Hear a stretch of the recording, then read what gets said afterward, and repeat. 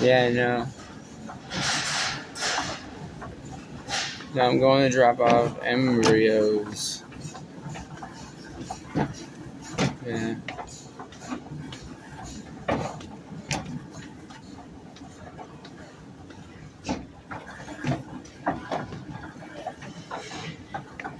Clothes for everybody.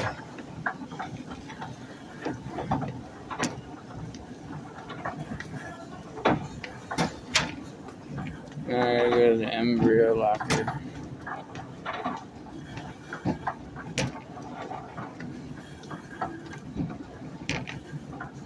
Jurassic Park or something, we'll find out.